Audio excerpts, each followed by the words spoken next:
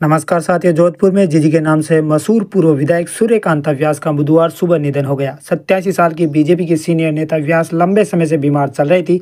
उनके बेटे शिव कुमार व्यास ने बताया, आज सुबह सात बजे तबियत बिगड़ने पर उन्हें महात्मा गांधी हॉस्पिटल ले जाया गया था। इलाज के दौरान करीब सवा सात बजे उन्होंने दम तोड़ दिया। शाम को शिवाची गेट स्थित शमशान में उनका अंतिम संस्कार किया जाएगा। साथियों, सूर्यकांता व्यास जीजी ने वर्ष उन्नीस सौ नब्बे में जोधपुर पुराना शहर निर्वाचन क्षेत्र से पहली बार चुनाव लड़ा था। पार्षद से राजनीतिक राजनीतिक शुरुआत करने वाली जीजी ने उन्नीस सौ और 2003 के विधानसभा चुनाव में बड़े अंतर से जीत हासिल की थी। जीजी जोधपुर, पुराना शहर, विधानसभा क्षेत्र से उन्नीस में चुनाव हार गई थी। उनके सामने कांग्रेस के जुगल काबरा थे। साथ ही दो और दो में सुरसागर विधानसभा क्षेत्र से चुनाव लड़ा और विजय हुई थी। 2023 नवंबर में हुए विधानसभा चुनाव का टिकट जीजी को भाजपा ने नहीं दिया था।